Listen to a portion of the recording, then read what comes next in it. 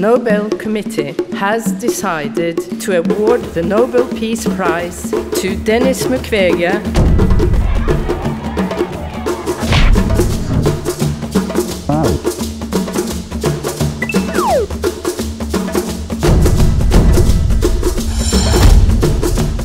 Peace Prize for 2018 to Denis Mukwege and Nadia Murad for their efforts to end the use of sexual violence as a weapon of war and armed conflict.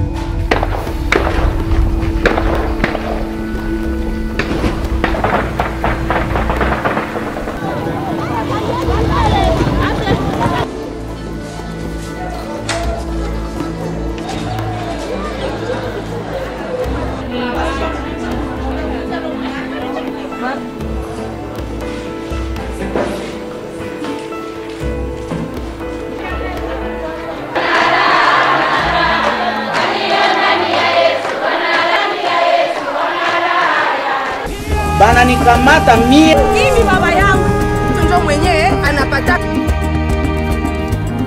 maana yake makubwa ni kusema dunia ingawa imechukua muda, lakini dunia imeanza kuwasikia wamama.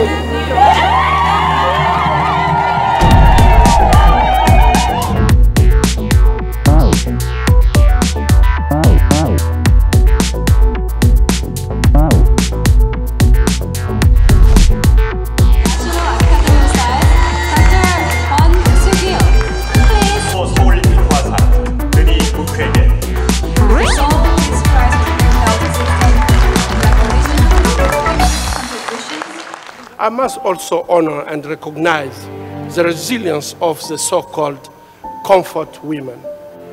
They suffered immeasurable pain, indignity, violence, and social stigmatization.